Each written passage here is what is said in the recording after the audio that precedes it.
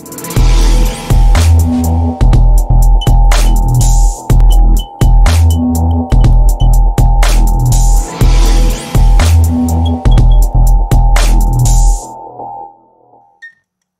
in this video we will learn about how can I change default server in WHMCS.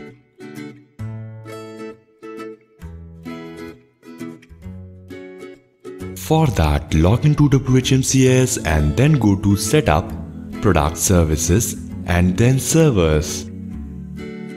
Now double click on any server name.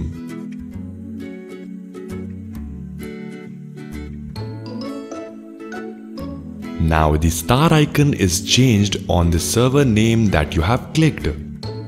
Which means this server has now become the default server. In this way, this default server will be used to deliver hosting by default.